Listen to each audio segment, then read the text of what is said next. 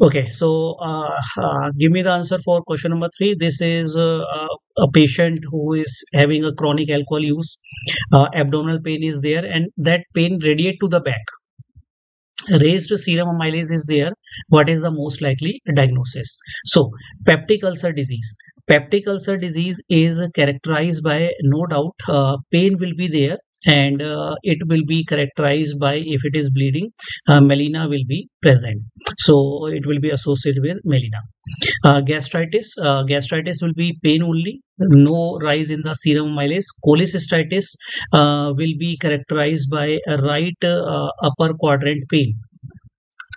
That will be the hallmark. Acute pancreatitis radiate to the back and amylase will be importantly elevated as well as lipase will be high here so answer here is acute pancreatitis. So this is a, a very important typical feature of acute pancreatitis. So this is an important question uh, from the uh, GIT section